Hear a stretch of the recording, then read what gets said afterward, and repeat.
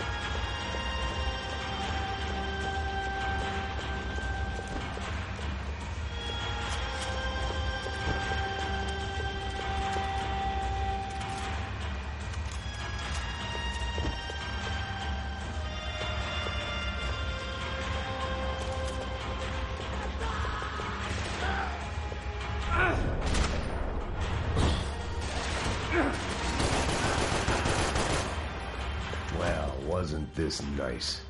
The perfect end to a perfect trip. If someone had told me six months ago this was where my life was headed, I'd have ordered a double of whatever they were drinking, drunk it, then blown my head off.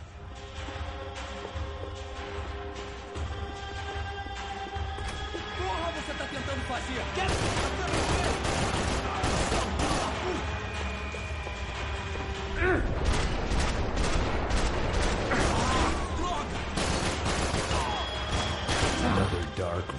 night. Another police station. Another futile crusade for amends. Time moves forward, and nothing changes.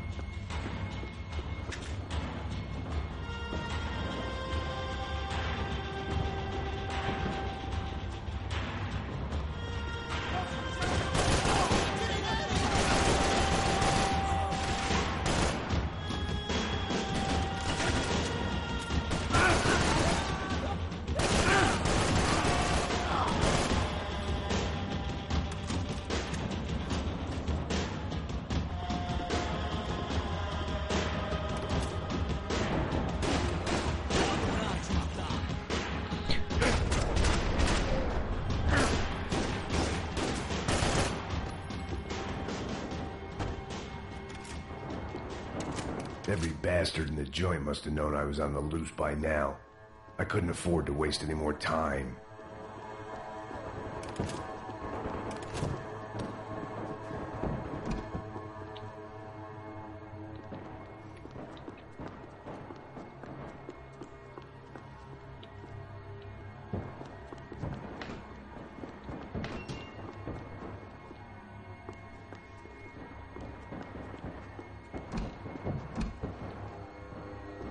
They had their body armor. I had mine.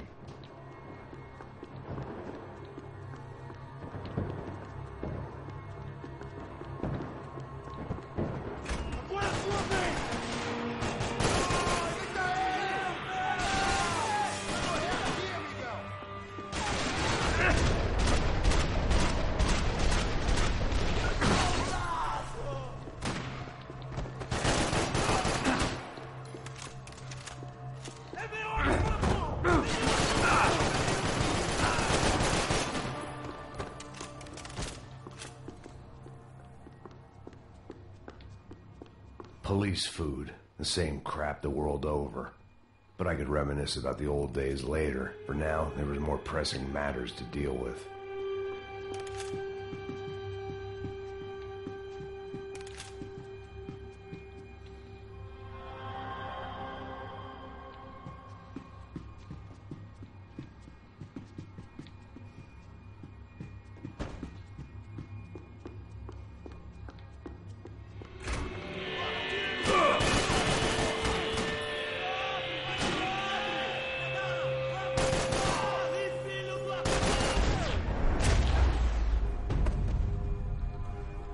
They'd come from the control room. It looked like the security cameras were still running.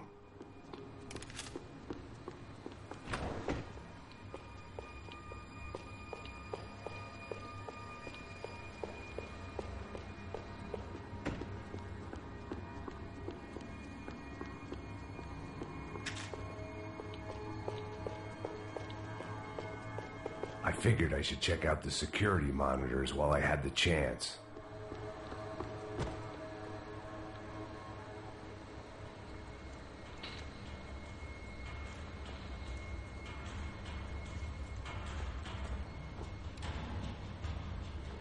It looked like the prisoners were giving them a run for their money.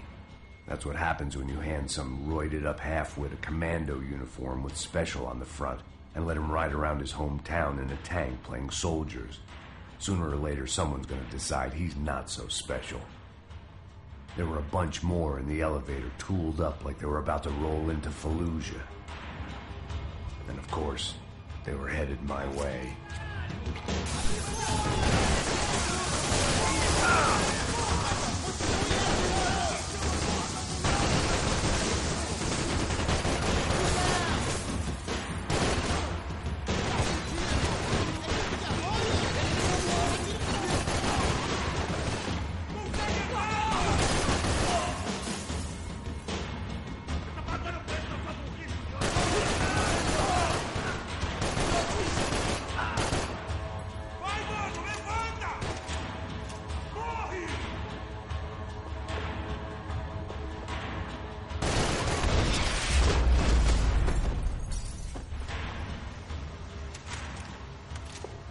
The heat was rising, that meant I was getting closer to the source. I had to keep moving.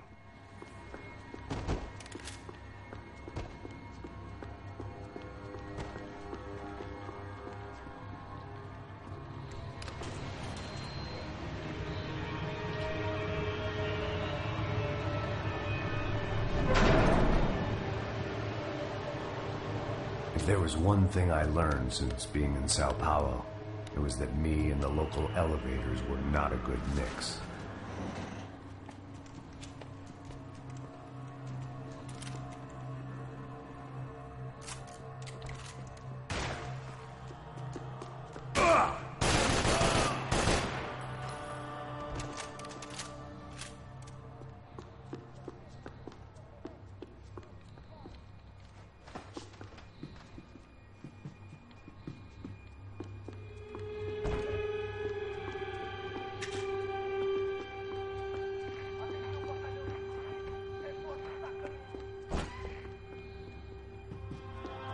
Whatever depressing fate lay on the other side of those doors, there was no point in putting it off any longer.